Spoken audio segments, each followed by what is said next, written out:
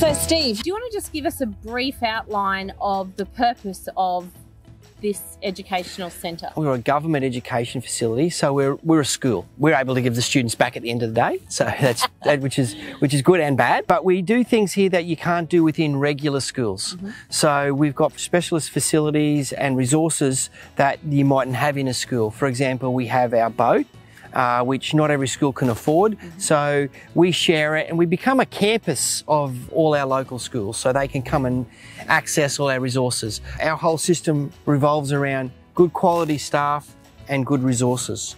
Most of our programs are centred on sustainability and biodiversity. And sustainability is an easy one to talk about with students while they're here. Biodiversity, we use marine habitats as, as the theme. So we could be out in our boat doing seagrass. We could be in the mangroves, uh, settlement plates underwater. But then again, we could be in the forest as well. So we use the habitat as our what we call pedagogy, our place of learning, and that is the theme. And all the curriculum is centered around that because we have to make sure that all all curriculum links for all age groups from P to 12 uh, within a particular subject area that we're doing, if it's biology, are met within our programs. Because we are Education Queensland, we have to do it that way. Um, it's not really a place where you just come and go, hey, let's have a holiday. Yeah. we like to we like the kids to go away thinking that they've had a holiday and they've been educated. We were teaching. Um, year, they first year marine biology students just recently. Mm-hmm. So they were tertiary students, and and every one of them had a different direction they were going to go in. And we were talking to them about the education side of things because we're we're in the education side. Some of my staff have come from other industries. Yes. Some of them have come from the fishing industry. Some of them have come from the tourist industry.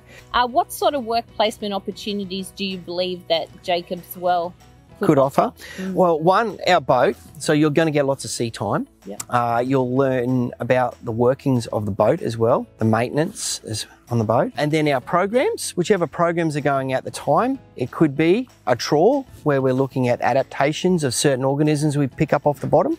We could be in the mangroves where we're looking at mangrove systems. Mm-hmm. Um, we could be diving and a rock wall and we'll be looking at settlement and sessile animals and we're looking at seagrasses and so all those different habitats we're looking at so you'll learn that.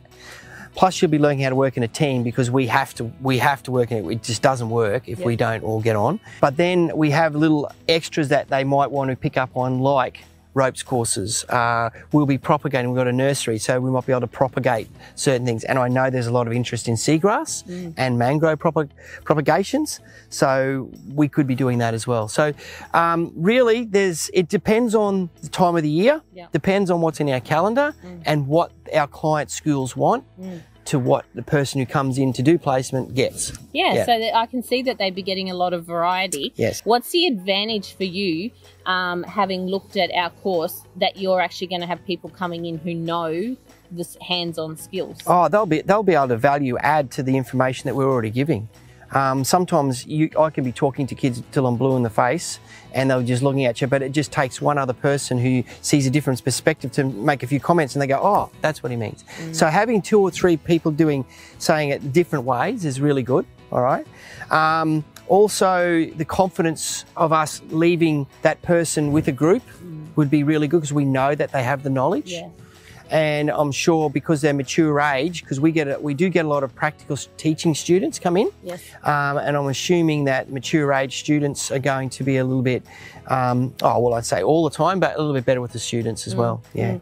Okay, so finally on the work placement, why do you think other industries should engage in work placement? Like what what's the value for students and oh, future employers? It, you can work out of a textbook, and I suppose this is the way we teach. It's live the, live the learning is our motto here. Mm. So you can teach in a, t- in a classroom out of a textbook, but still not get the understanding until you go and actually do it. Mm. So having hands-on practical experience, even with the teachers these days, learning about teaching practice within a, within the classroom, you know, it, it doesn't meet every criteria. You go out and actually do it and get in the real world, and then you know, wow, hey, I've got to pick up this, I've got to learn this, I've got to learn that.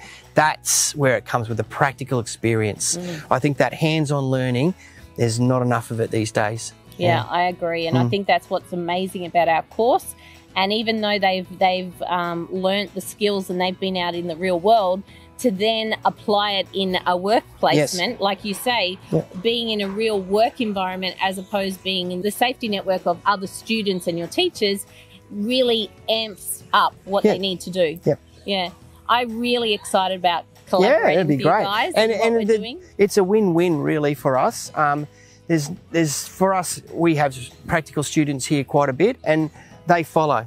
But then once they get to know what's going on, they assist, Mm. and then we put them in charge of things as well. It's great to have someone else on the same wavelength as us teaching with us, Yeah. team teaching. Yeah, Amazing. Hmm. Thank you so much. no worries.